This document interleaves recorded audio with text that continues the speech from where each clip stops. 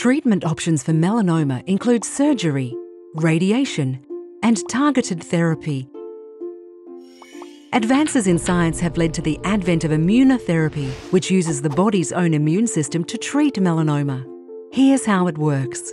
Imagine your body as a garden where the soil is your immune system.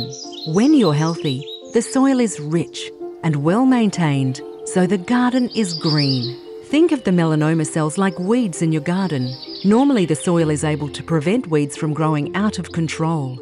But as the melanoma progresses, the weeds multiply and spread. The entire garden suffers as your plants compete for space and nutrients, causing the flowers to deteriorate. Immunotherapy treatments are like adding weed control fertiliser to the soil. It enriches the garden's existing soil and makes it strong enough to destroy the weeds and fight the melanoma.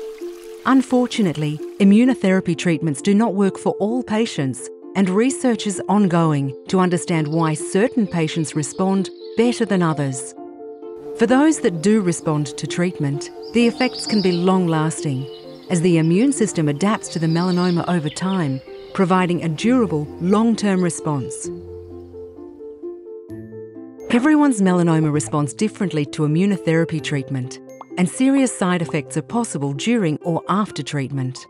Speak to your oncologist about any side effects you experience so they can be managed appropriately. It is important to address concerns as soon as they arise.